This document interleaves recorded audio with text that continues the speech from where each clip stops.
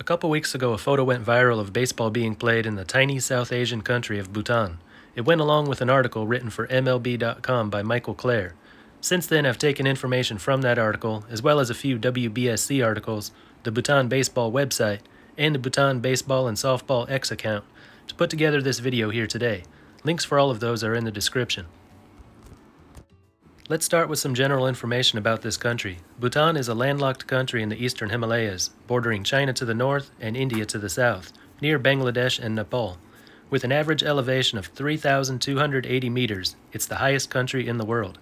Its population is 727,000, around the same number of people as the U.S. state of Alaska or the city of Denver.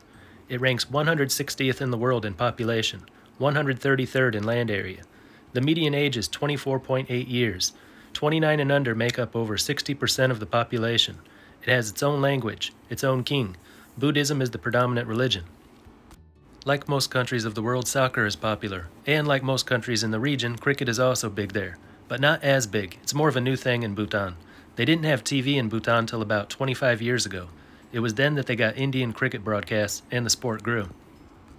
The most popular sport, though, is archery. They usually play their own brand of it, differing a little from the Olympic version. Competitions are held regularly in all the villages throughout the country. There are other traditional sports too, similar to darts, shot put, horseshoe, and javelin. So children there grow up with the skills of aiming, throwing, and launching objects toward a target. And the fastest growing sport in the country is baseball. Baseball in Bhutan turned 10 years old this year, and they already claim 6,000 people play it regularly, with 2,000 registered players.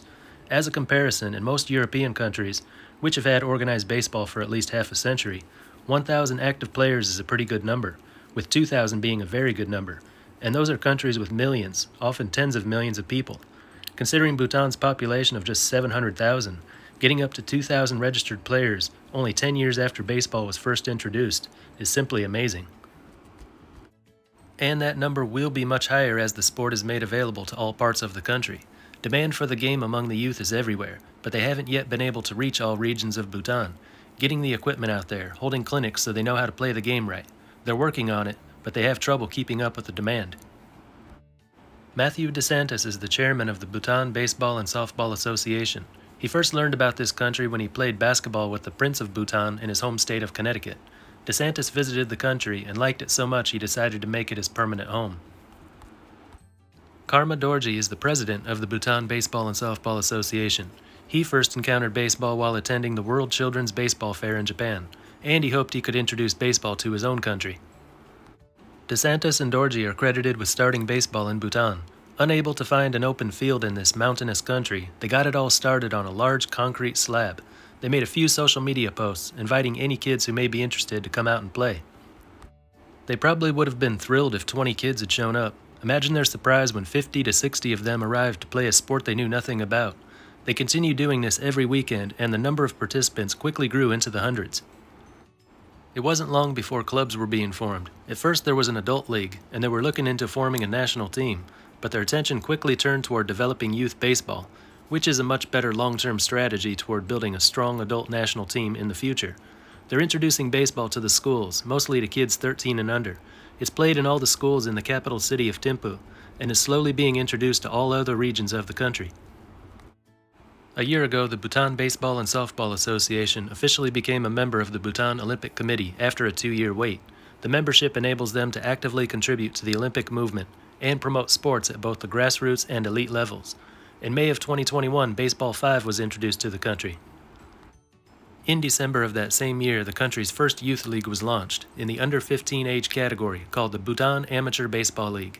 Five schools in Thimphu participated, playing a 21 game regular season. 90 students were involved, an even split of 45 male and 45 female.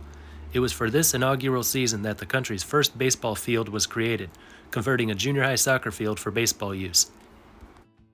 The association has been busy this summer. In June, they introduced the sport to another elementary school. Last month, they borrowed another field and held a pitchers and catchers camp. A couple weeks ago were the playoffs for the Amateur League. Always something going on there.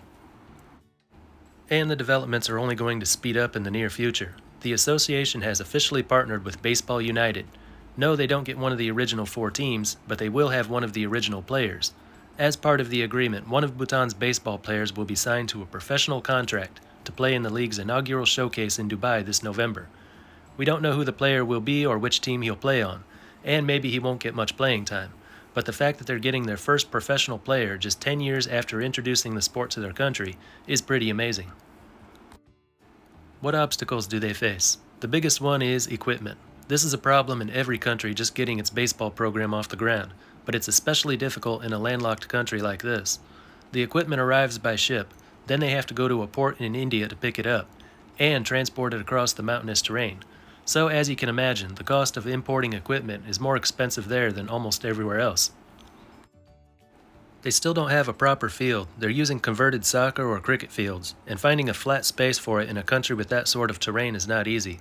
But it won't be long before baseball specific fields are built. With the growing number of participants, the people in charge will see the need for it. Learning how to play baseball is sometimes difficult when introduced to a new country. It all depends on what sports they had there previously. It's not a problem in Bhutan. Of course, there's cricket. Anyone who's played cricket usually adapts to baseball quite easily. And with traditional sports that resemble shot put, javelin, and darts, as well as archery, they're able to pick up on the necessary skills for baseball. Some might point to the country's small population as an obstacle, but it's not the number of people in the country, rather, how many of them are interested in playing baseball. It's got a larger population than Curacao, Bahamas, and the Virgin Islands, all of which regularly put their players in MLB. The obvious difference is that those three are located in the Caribbean, surrounded by larger baseball powerhouses. But South Asia, as a whole, is ready to take off. We'll soon see players from Pakistan, India, Sri Lanka, and other countries from the region in the Major League system. Bhutan baseball can grow right along with the rest of the region. If you'd like to make a donation, there's a link for that in the description. You can also find it as the pinned post on their X account. I've researched about baseball in a lot of countries the last few years, and I get used to hearing about countries with only a few hundred players, only a little enthusiasm, in a crowded sports market. But Bhutan is very different. Everything is looking up there. 2,000 registered players, and they haven't even introduced it to all the regions yet. And it's only been 10 years. It's going to be really exciting watching the sport grow there. Hopefully, this is just the first of many times I get to talk about baseball in Bhutan on this channel. Anyway, that's all for this one. And until next time, this is Baseball International. See ya.